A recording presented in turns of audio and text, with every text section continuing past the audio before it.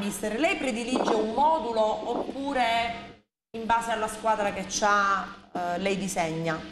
Ma io prediligo chiaramente un modulo, eh, però mi sono anche adeguato in base alle caratteristiche dei giocatori che ho avuto, soprattutto ultimamente,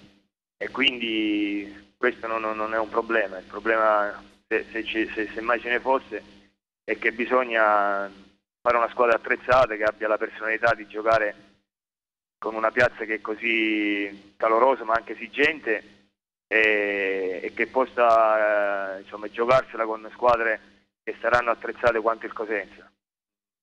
Quindi per il momento quello che mi preme è, è, è arrivare a questo tipo di soluzione eh, perché poi sono convinto che le cose non andranno male. Comunque lei, non, non vorrei sbagliarmi,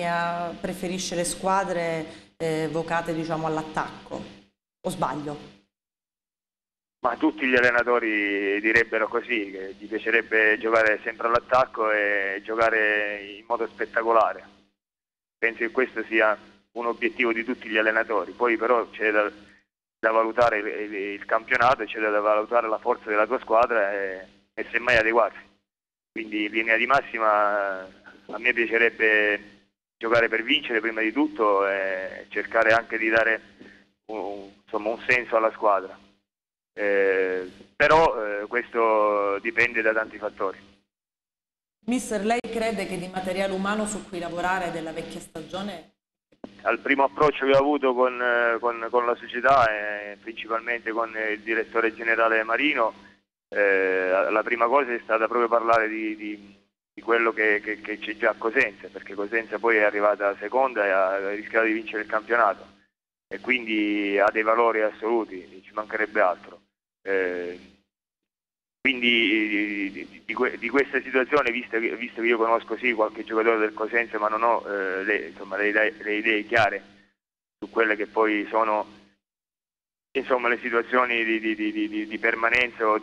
o altro di, giocatori de, del Cosenza attuali,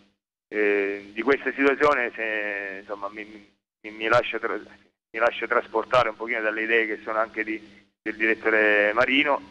eh, fermo restando che anch'io ho alcune idee